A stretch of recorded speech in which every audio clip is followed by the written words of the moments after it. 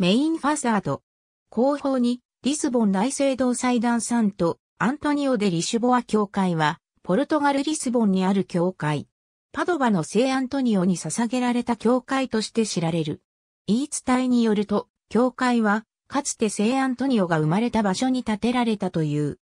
聖アントニオは、フェルナンド・デ・ブルホエスという名前で、1195年に、富裕な一家の子として生まれた。コインブラで学んでいた彼は1220年、フランチェスコ会に入信し、アントニオという名を名乗るようになった。彼は布教活動のため、イタリアへ渡り、パドバに移住した。彼の生前の行いが人々に知られていたため、彼は死後1年未満で劣勢された。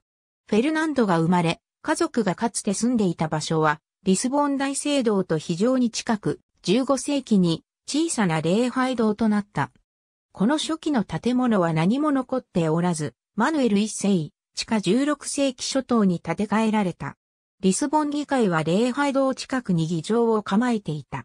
聖アントニオ教会が16世紀に設立された。1730年、ジョアン5世地下で、教会は建て直され、再度装飾された。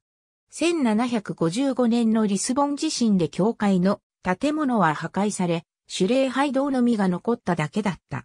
建築家マテウス・ビセンテ・デ・オリベーラによるバロックイコールロココ様式設計で1767年以降再建された。これが現在の教会である。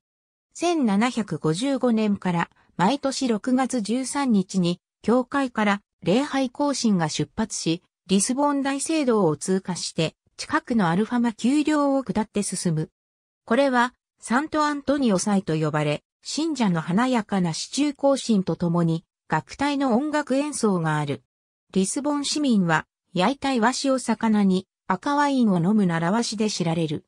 1982年5月12日、ローマ教皇ヨハネ・パウロ2世が教会を訪問した。教皇は、教会正面の広場で、聖アントニオ像の除幕を行った。そして、聖人が生まれた場所を示す地下聖堂で祈りを捧げた。ありがとうございます。